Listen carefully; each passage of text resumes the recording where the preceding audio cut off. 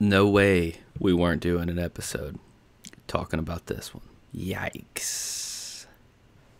Welcome to the show.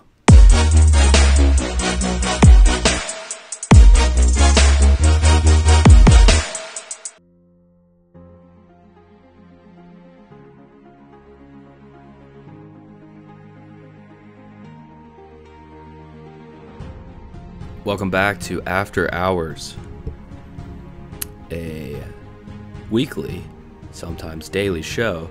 This one today is that was one of those that if you don't know, you uh, you probably need to know about it because if you're around my age, my generation, you probably grew up watching Nickelodeon. This new documentary TV mini series on HBO Max called Quiet on the Set the dark side of kids' TV.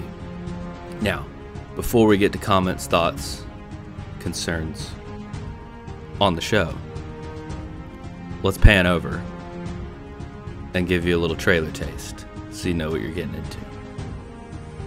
Alright, so to start, for those who do not know about Quiet on the Set, I'm just going to play a quick, quick trailer so you get a little taste of what this horror story is about. To hear that Brian Peck was a sexual predator, it made me wonder immediately about who was being hurt. Who it is, when it happened, where it happened, I have no idea. It wasn't dealing with anybody on the shows or anything, right? It was a child actor.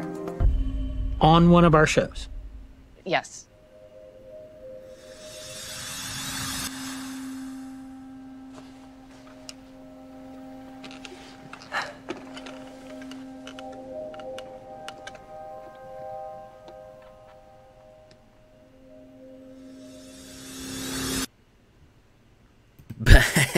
Bang! Drake Bell.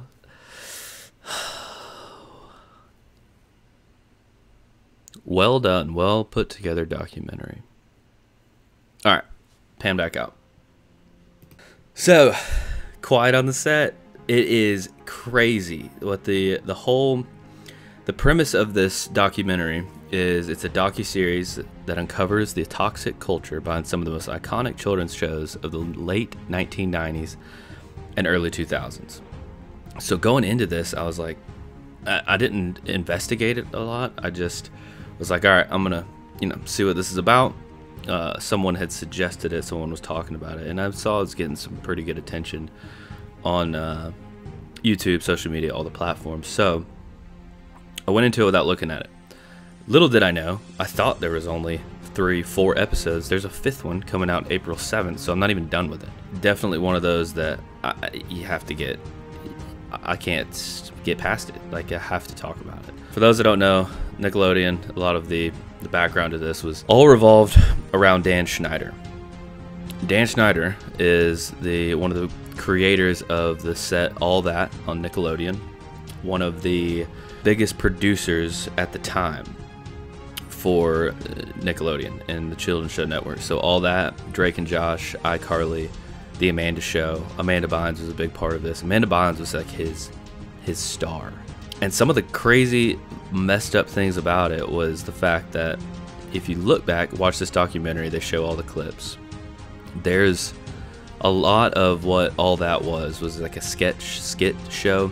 So no real premise, lots of comedy sketches, whatever. But majority of it, and you remember, like the slime, that was the majority of you know the insin- insinuation of a very sexual shot on a lot of these actresses and actors.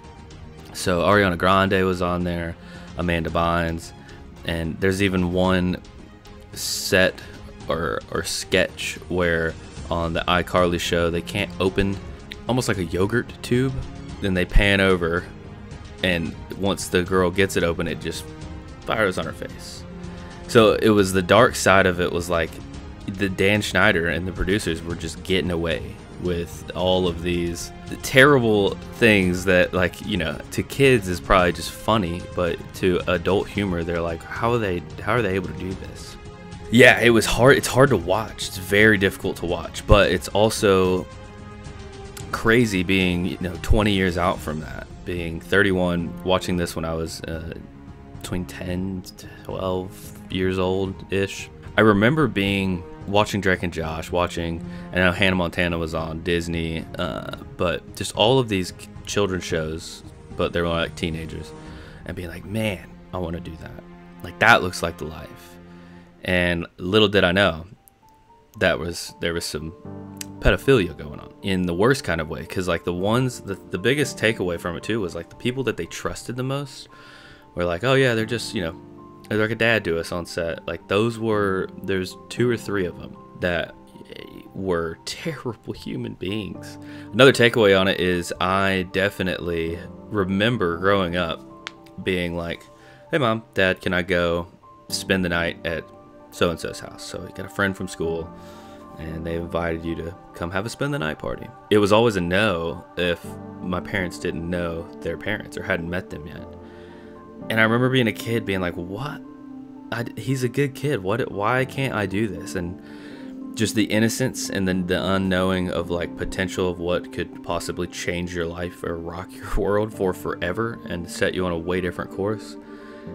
Now being a dad, I get that, and and knowing the evil in the world, I see that. That yeah, I would probably do the same. I would not let my child go anywhere unless I knew that it was a and like really knew it was a safe environment. The coolest, I guess, coolest one of the, the, the episode two when you get into that is when Drake Bell comes on and starts talking about his situation. I absolutely hated seeing his dad talk about it because essentially his dad was his manager. And as Drake started getting more fame. He was, you know, traveling around the band, all the things. His dad was like very suspicious of one man. I think his name was Brian. He, this Brian guy started like putting it in his ear, Drake's ear, that like his dad can't be his manager. Like it's not good for him. He's seen it before. And all Drake Bell knows is like just to trust this guy. So it makes this, I guess, lie up about his dad. His dad is like, hey, I don't like the way this guy's touching him while he's on set working, like almost super too friendly. They showed a clip of him doing the same thing to Leonardo DiCaprio as a kid, where it was just like he, you know, he's like grabbing his arms, or like he said he would like dress him and stuff. Like when it's like that's just not appropriate. Don't touch my kid that way. Totally understandable. Well, this Brian guy knew. He, he was like, I, I need to get him out of the picture. So essentially, he did. He got him. He convinced Drake to that his dad was no good for his fame, his his career and he kicked his dad off of it. And his dad said, and his dad's testimony was like just heartbreaking to see. The just through the tears and knowing like what he could have prevented, but he didn't want to because he wanted what what his son wanted. So he was just a kick-ass dad. Allowed it, but it it very much tainted Drake Bell for the rest of his life. So he his dad said before to like before he goes and makes him his new manager and spends all his time with him, he told his mom, and they were I think they were separated at the time, but he was like, "Don't ever let them be alone together." Well, that didn't come to fruition. So his mom, with all the uh, you know shooting on set, whatever, there was times where he would end up staying at this guy's house because he that guy would take him from work from the set and drive him across town to his home, but he convinced Drake and his mom like, "Hey, I'm just you can just stay at my house on my couch. Uh, you know, it's late. By the time uh, whatever whatever the excuse was, it's raining, the weather, you got to be back here in the morning. It's just easier if you come stay at my house on my couch. And they trusted him at the time. Their dad didn't, but they did. And yeah, you'll when you watch this, you'll hear Drake's first time talking about it. And he pretty much says, think of all the worst things you can think of. And the first time it happened was he was asleep on the couch and woke up to being assaulted. It's just crazy thinking like that at that time watching that show. Man, this kid's got it all. Little did you know, he, you know, behind the scenes, like, was getting abused. And this guy was so corrupt that he was like, if I'll take this away from you if you say anything. But he was also super apologetic. It was like, I'm so sorry, it'll never happen again. That wasn't the truth. It happened all the time, over and over. And a lot of this show is just centralized around Dan Schneider and the weird stuff that he would do. It's almost like a joke to him. I mean, they even made the Nickelodeon uh, logo was a foot. And in episode four, they get into yeah, he's kind of got a foot fetish where he's asking kids to send pictures of their feet. Ariana Grande one time in the episode was sucking on her toes, and it just got insane with it. And so there's a lot of testimonies involved throughout it. Like I said, I haven't seen the last episode. Comes out April 7th, but my lord, it is it is it is quite the journey to watch. And yeah, you just you can never be too trusting, especially in these settings. Uh, Amanda Bynes has kind of gone off the deep end, I guess you could say. Drake Bell since all this. I mean, a lot of this happened before Drake and Josh Pilot episode started. So, you know, he's going through some mental craziness during that. But like, I have you haven't seen Drake Bell a lot since. It's like they're just they're totally corrupted now, and it's hard to move past it. Well, he finally talks about it here, and he just released a new song, a new music video. So I haven't seen that one yet. Plan on watching it, checking that out. It's crazy. I would love to know. I would love to know more stories from others. Like Amanda Bynes doesn't come on and talk. Ariana Grande doesn't. Ariana, Ariana Grande is like the most successful of them all. Obviously, she's A-list, big time. I would love to hear her thoughts on how that whole thing went. Yeah, crazy. IMDb gave this documentary a 7.8 out of 10. It's very eye-opening, and actually, you see, it was funny. Tim Dillon was talking in one of his shows about it, and there's a video on YouTube where Dan Schneider tried to come out and get ahead of it not really get ahead of it. He posted a 20 minute interview after the show came out. It's so bad. Like he he's definitely has an agenda here and he's not apologetic. He just knows that like he's about to take a hit and he need he really needs something else in the news so that this isn't the big story, but there's no way this isn't the big story, especially for people of our generation who watched all these shows. Now seeing kind of the dark side behind the scenes.